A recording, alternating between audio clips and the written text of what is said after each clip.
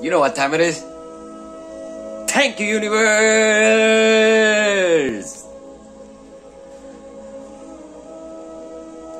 Peace and harmony are the most important things in life, okay? Peace and harmony.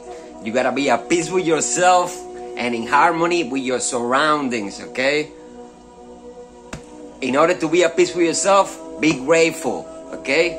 And to be in harmony with your surroundings, show unconditional love, okay? Once you have created that energy from within yourself, in your energy field of peace and harmony, right? And gratitude, that opens every door, okay? That opens every door, okay? Kindness, a kind heart is a magnet for miracles, okay?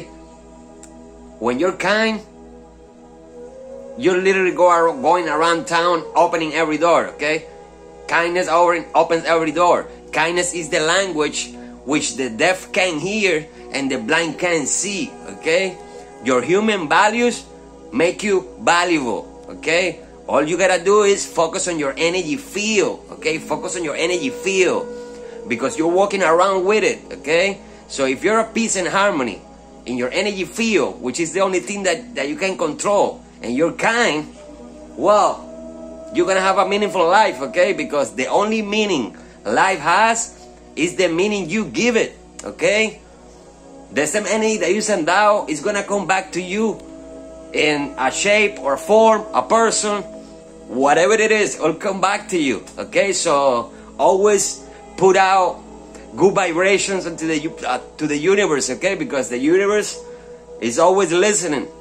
You are the universe. The universe is you. You are constantly interacting with yourself, okay? so take care of your of your of your energy field.